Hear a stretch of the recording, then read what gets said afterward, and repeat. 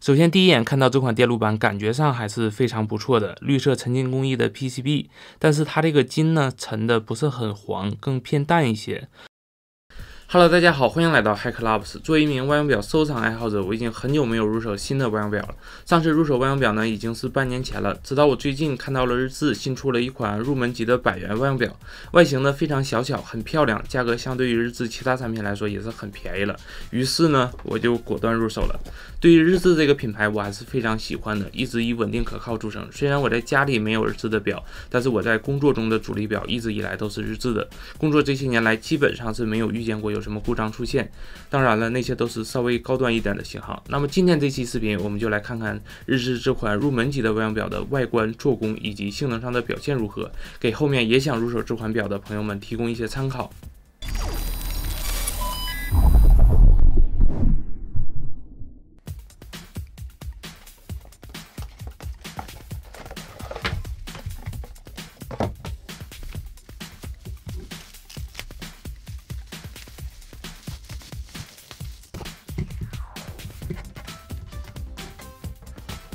大家可以看到，这就是这款万用表包装里面所有的东西了：一台主机、一本说明书、一副表笔，还有一对七号电池。它在这个包装盒的左下角呢，大家可以看到是写的“中国制造”。那么这款表呢，就应该是在我们国内生产的了。这款万用表的外观依旧是日志经典的灰尘蓝皮，上手的这个质感呢还是非常好的，很结实。呃，这个大小我感觉在万用表中还是属于偏小一点的，这是。与我的这个 iPhone 十三的大小对比，大家可以作为一个参考。小的好处呢，就是使用起来会更加的方便，当然呢，也就没有大表看起来显得高端。虽然这款表的定位是入门级，但是它这个做工，我觉得和日志其他高端表基本上是一样的，按键以及这个波轮的手感都是非常好的。大家可以看到，非常的干脆。在它的这个型号 DT 四二幺五的上面是有一个 True RMS，也就是这款表是支持真有效值测量的。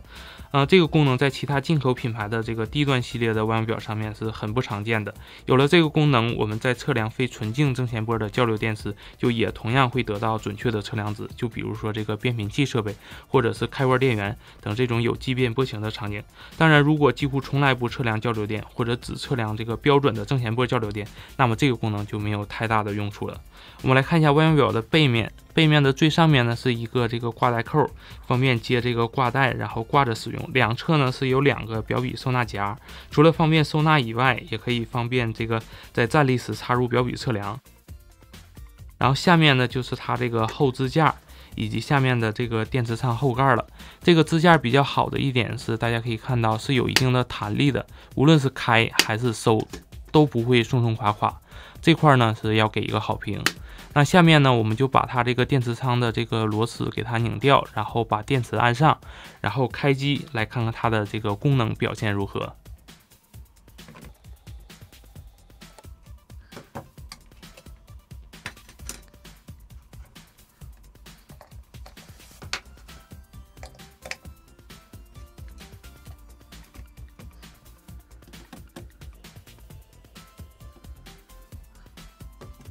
我们拨动波轮来给它进行开机。首先，我们看说明书可以知道，这台表呢是一个四千基数的这么一个显示范围。第一位呢可以显示零到四，比普通三位半的两千基数呢要高一点点。数字的下面大家可以看到，并没有模拟条，这个应该是区分低端系列和中高端系列的一个明显标志了。模拟条虽然在实际测量上没有太大的用，但是在彰显逼格上面还是有一些用的。屏下面四个按键分别是这个后的保持按键 （Relative 键）、手动切换量程键以及这个 FN 功能切换。键还有下面的这个背光按键，它这个背光比较好的是，大家可以看到有两档背光，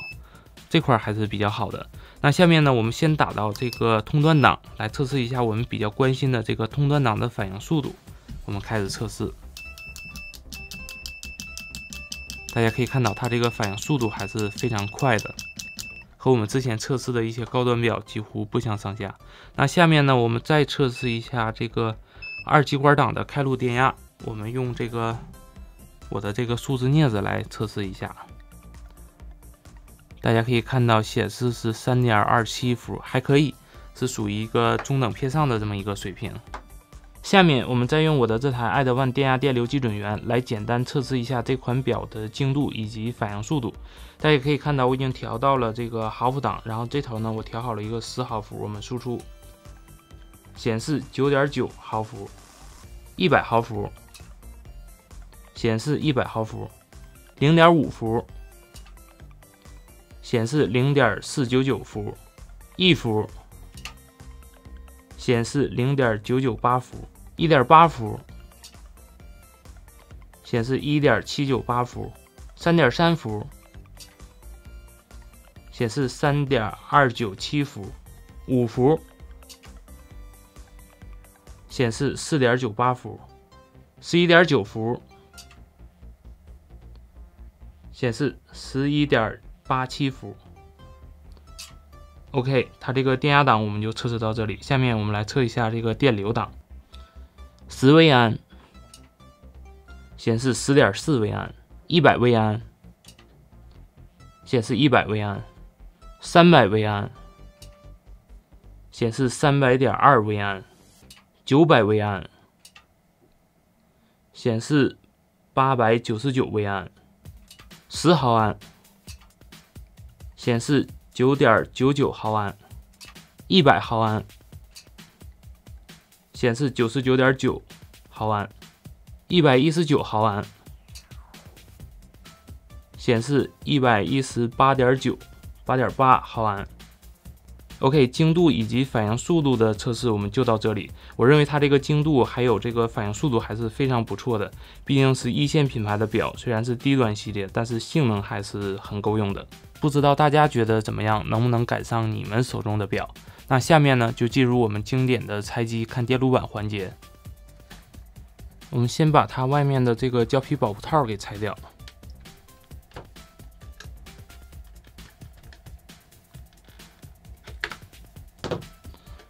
OK，大家可以看到背面一共有五颗螺丝，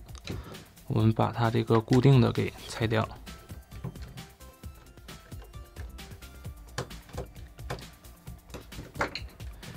OK，我们打开后盖儿，大家可以看到，这就是里面的这个电路板了。电路板与这个电池仓呢是通过弹簧来进行连接的，这种方式还是比较好的，也是目前比较主流的一种连接方式。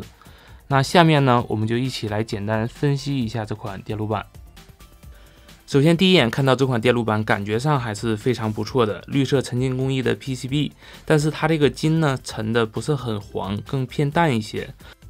嗯，看到三颗主芯片，我们就可以确定这是比较经典的这个前端加主控加平驱动的这么一个硬件方案了，也是比较良心的一种方案，比单芯片完成所有功能的那种低端表方案要厚道很多。呃，首先左上角呢就是这款表的主控了，用的是美国新科实验室的小壁虎，呃，准确型号呢是 EFM 三二 JG 二二二 F 三二 G。这款芯片呢我比较熟悉，功耗特别低，非常适合做低功耗应用，可可以说是低功耗 MCU 领域的这个天花板了。它的下面呢就是这款表的前端芯片了，丝印呢已经被打掉了。呃，万用表大部分工作其实都是这个前端芯片来完成的，就比如这个 AD 转换、真有效值测量、量程转换等等，最后结果呢再通过串口等通信方式传给这个主控来进行处理。呃，这颗芯片的下面呢是一颗一方 P ROM 存储器，大家可以看到它是直连到这个前端芯片上面的，那么它应该就是用来这个存储校准数据的。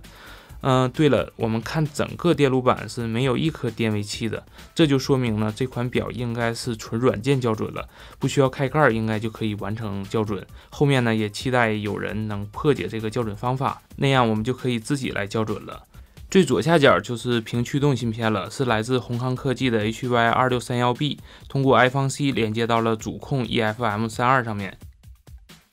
呃，看这块儿，我们可以看出这款表的输入保护还是很到位的，用了三个压敏电阻，还有四个热敏电阻。在电流输入这块呢，还有一个压敏电阻，下面呢还有一个双向 TVS，以及上面这块呢还有整流桥前位保护。在保护这块用料应该算是非常足了。嗯，但是呢，看到这个封装的这个保险丝，感觉上还是有一些掉价的。不知道是因为成本原因，还是这个空间原因，没有使用那种粗大的高逼格保险丝，不然的话，应该会将这块电路板再提升一个档次。呃，但是我们看它下面这块写的这个参数呢是一千伏，这个毫安档下面这块也是一千伏，这个还是很给力的。一般普通万用表这个保险丝只会给到几百伏，呃，这个保险丝额定电压其实是一个非常关键的一个指标，指的呢是保险丝熔断以后两端能耐受的这个最大电压，超过这个电压就有可能触发电弧、烧毁电路，甚至引起爆炸。嗯，电路板正面呢就没有什么值得说的了，屏幕是一个透明壳体，直接固定的，这点还是挺好的。OK，那电路板简单分析呢就到这里，大家觉得怎么样？一百分满分的话能打多少分？这台万用表整体评测使用下来，我个人还是非常满意的。作为一款在日资整个产品线中价格定位在低端的表，在功能以及做工上面确实非常优秀了。就比如带有这个微安毫安档的这个小电流测量，就比如带有这个真有效值测量等等，这就让这款表的适用场景变得很大。不像它的上一级 DT 四二五几的那几个大哥们有自己的这个应用场景偏向，这款表呢是电子工程师可以用，电气工程师也可以用。虽然它的相对性价比很高，但是日志呢也非常精明的适可而止的拿掉了一些中高端表才有的这个配置，就比如这个模拟条，就比如这个上位机通信，就比如这个高逼格保险丝等等，这就让它又不会太影响到上一个等级表的存在。那整体来说呢，对于这款表我还是十分推荐的，相对性价比确实非常高。因为除了功能参数以外，一个准确可信任的测量值也是一款表的价值之一。OK，各位，这是本期视频的全部内容了，希望能让大家对日志的这款入门级百元万用表有一个简单的了解。同时呢，也希望大家点赞、投币、收藏、转发，你们的支持就是我动力。我们下期视频再见，拜拜。